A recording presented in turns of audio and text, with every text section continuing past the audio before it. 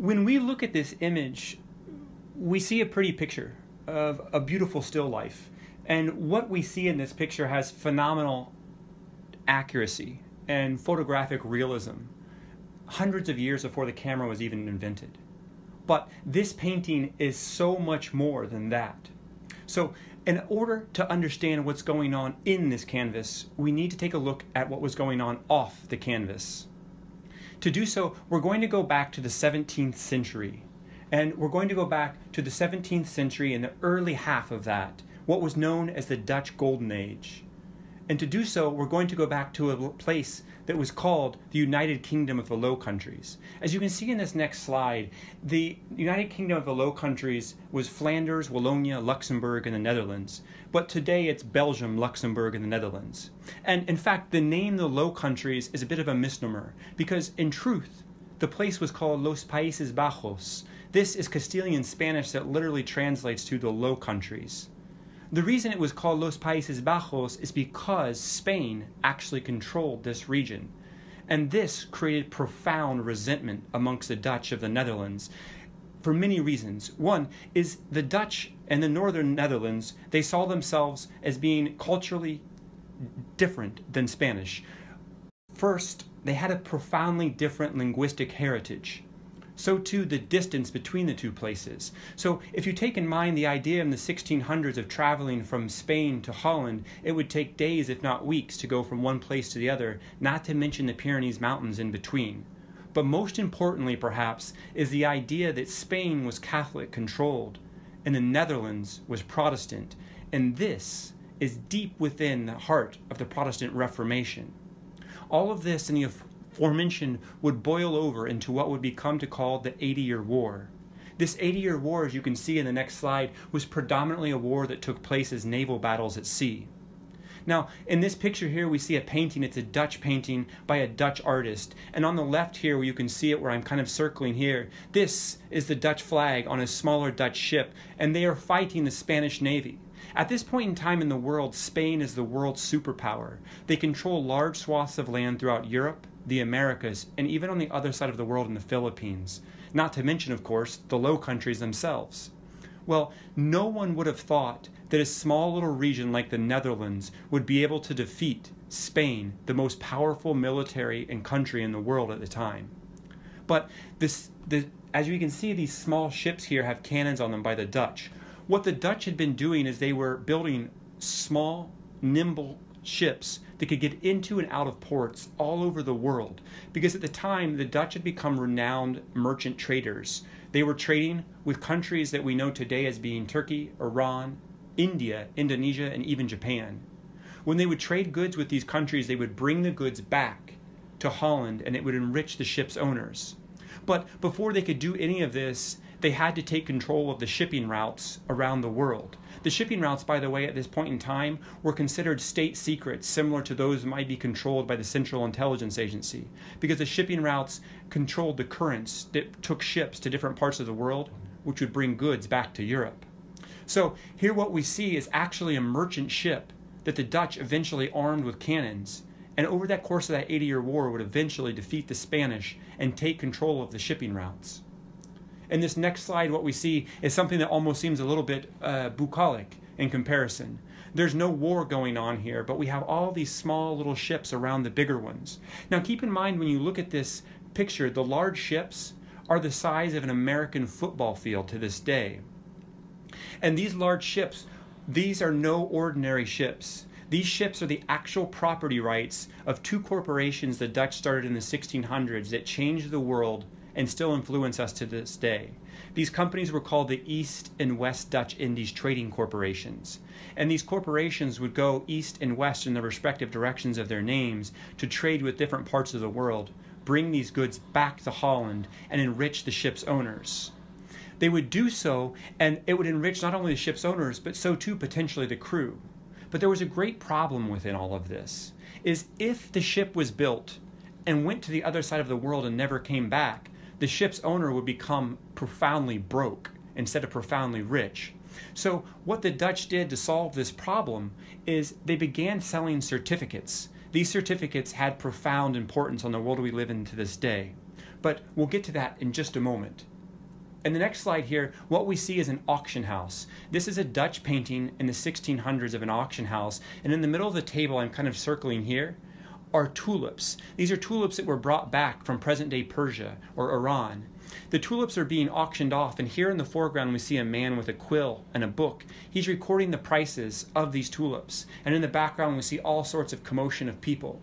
Well, what this painting is showing us is in the auction house, anyone could bid on these goods and then later resell them. So, for the first time in the history of Europe, you didn't need to be of the royal class to become rich, or as the Dutch called it, the burgher class. You could be just about anyone, buy a good that you thought might be worth value, and then sell it later. And that's precisely what's happening here. So, as we take into account the idea of the auction houses, let's step back to the idea of the ships and selling the certificates, because here in the auction house, they're selling the goods that were acquired on other parts of the world for phenomenal sums of money. But as we go forward, we see another photorealistic painting of a plaza. This is done by a Dutch artist in the 1600s. This, however, is no ordinary plaza. It's phenomenal, right? This plaza, what makes it so phenomenal is that these certificates we talked about were being bought, sold, and traded here. So let's give an example to the certificate. Let's say Johan, he buys a certificate from one of the ship owners, and he does so for X amount of dollars. When he does so, the ship's owner says to him, When this ship returns to port, you'll get 10% of the gross total profits of the ship. So they take the certificate to City Hall in Amsterdam and they get it notarized and it becomes certified. But these ships, keep in mind, would be gone for months at time, if not years. And as we all know right now, over the course of months, if not years, life takes place. And let's say what happens with Johan is he has a certificate that he traded all of his hard earned money for, and he decides, hey, this is just a fancy piece of paper, and that ship may never come back. So he goes to the plaza that we're actually looking at in this very painting, and he decides to trade the certificate for a horse so that he can use more horsepower in his fields to make more profit off of his, gar- his garden and his, his agricultural business. Or perhaps he trades it for a bushel of wheat to feed his family, or better still, Perhaps he trades a certificate for more money than he bought it for initially and makes a profit. Then the guy who bought it from him turns around and sells it to someone else, and so on and so on. This plaza in this painting that we are looking at is no ordinary plaza because this plaza is the basis of the world's first stock exchange.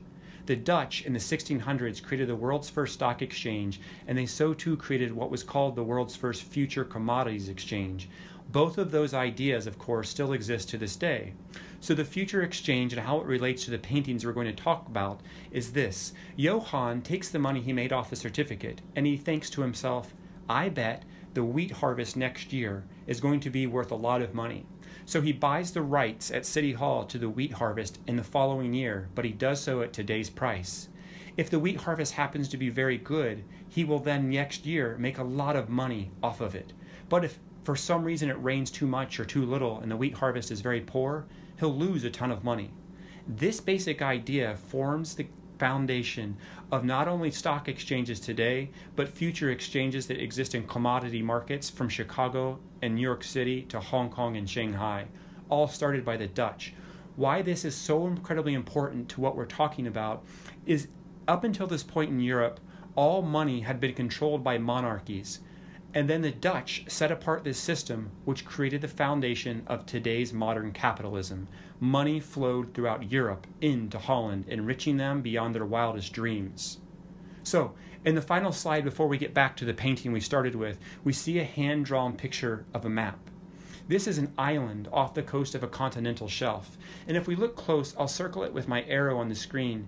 What we see is a wall that was built around this uh, south tip of this island here.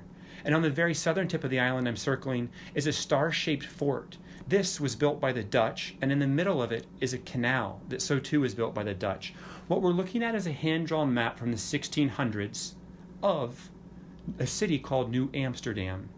New Amsterdam was incredibly important to what we're going to talk about with the paintings because just to the left here where my arrow is, is a river this arrow to the left of the picture plane is a river that allowed the Dutch to send their ships into the continental shelf and trade with indigenous tribes for furs and pelts that they would then take back to Europe and sell for phenomenal amounts of money. When they did so, they attracted the attention of other would be and wannabe world superpowers. In this case, they attracted the attention of the English. The English came and tried to seize this part of the island. They eventually paid the indigenous tribes that had been trading with the Dutch to help them seize the island, and eventually the English overcame the walls that are around the edge of this city of New Amsterdam. When they overcame the walls of the city, they tore down the fort. After they tore down the fort, what they did is they renamed the city. So it no longer paid homage to Holland, being called New Amsterdam.